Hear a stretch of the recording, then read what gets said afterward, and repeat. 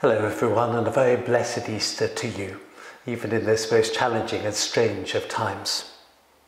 A verse from our Gospel reading today from Matthew 28 and suddenly there was an earthquake.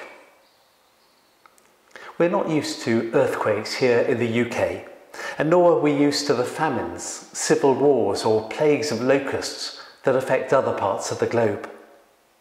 That doesn't protect us from domestic earthquakes, of course from events that shake the very ground that we stand on. Nor does it shelter us from communal earthquakes, like the recent flooding in our country that so devastated the lives of many of our villages and towns. But the experience of a national, indeed a global earthquake, has left us all reeling as COVID 19 sweeps its way around the world, bringing death in its wake and turning the lives of thousands of millions, you and I included, upside down. In disaster movies, of which there have been many in recent years, the threat of an alien invasion, say, tends to bring out the very worst in people, leading to dog eat dog behaviour and the breakdown of civil society. In reality, though, it more often brings out the best. Those who work in our National Health Service deserve applause every moment of every day of every week. So do those who work in our care homes and schools, and those who collect our post and our rubbish.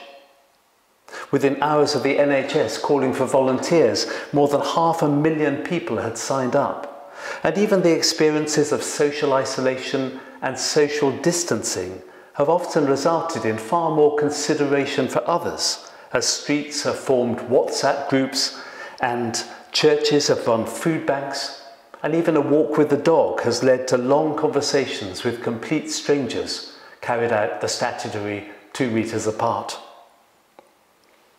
And that's not the whole story, of course, and earthquakes of all kinds can bring out the worst in people as well as the best, the hoarding instinct alongside the sharing instinct.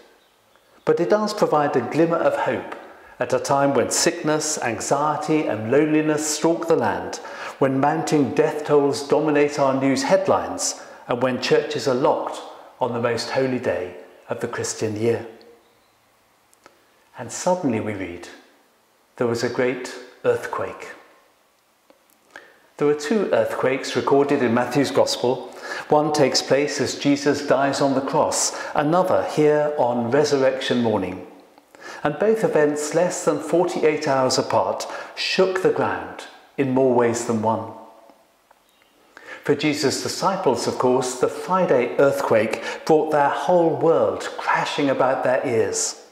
Jesus, their shepherd, guardian, friend, their prophet, priest, and king, being cruelly tried, brutally mocked, savagely beaten, nailed to a cross, and left to die.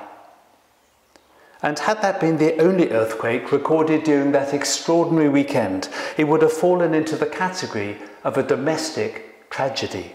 A small group of men and women putting their faith in yet another failed Messiah, a footnote in the ancient history books, if remembered at all.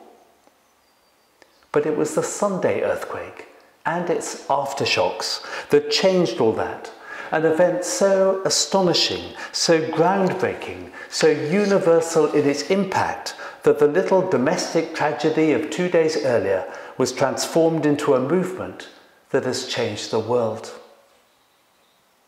Some of the details of that day, admittedly, are a little confusing. Such is often the case when you gather a number of eyewitness accounts to an extraordinary event. But there were two things on which those witnesses were absolutely united, in fact, willing to stake their very lives. First, that the tomb in which Jesus had been laid was empty. And secondly, that a significant number of people, more than 500 women and men in total, had gone on to meet with the risen Christ and stake their lives they did, as many of those witnesses went on to face the most brutal of executions at the hands of the Roman authorities, with just one song on their lips Alleluia, Christ is risen, he is risen indeed, Alleluia. So, back to the world of COVID 19, of self isolation and self distancing, of face masks and ventilators and intensive care units and mortuaries. And perhaps we might think it's almost indecent to celebrate Easter at quite such a challenging time. Quite frankly, we're just not in the mood. But while Easter 2020 might be understandably lacking in some of the normal joys of spring, and while this season demands of us a seriousness of purpose alongside practical courage and compassion, and while 10,000 locked churches might make an apparent mockery of the words of George Herbert, the church with psalms must shout, no door can keep them out. There's another sense in which the Easter message has never been more relevant than it is today.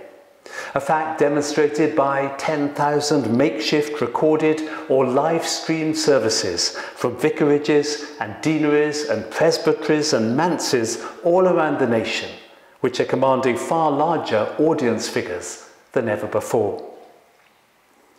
There is, after all, one reality that COVID 19 brings into sharp focus that one day you and I will die. It may be soon, it may be many decades off, but one day it will happen. And here's the relevance of that Easter earthquake, which goes far beyond the experience of a small bunch of people in first century Palestine. That in the words of St. Paul, death has lost its sting. Or as he puts it elsewhere, dear friends, let us not grieve as those who have no hope. We believe that Jesus died and rose again and even so, God will bring with him those who have died. Then we will always be with the Lord. Comfort one another with these words. It remains true, of course, that Easter 2020 will be a quite different experience from the Easters that we've grown to know and love. It remains true that many of our cherished family traditions and church traditions will have to wait for another year. It remains true that many of us will find it hard to summon up the joy of Easter or to sing those triumphant hymns with the usual enthusiasm. But whether proclaimed with beaming faces or as an act of stubborn faith, the message of those first disciples, which spread like a benevolent virus around the world, also remains true and hopeful and astonishingly relevant as together we face this earthquake of our own. Alleluia. Christ is risen. He is risen indeed. Alleluia. God bless you all and your loved ones too.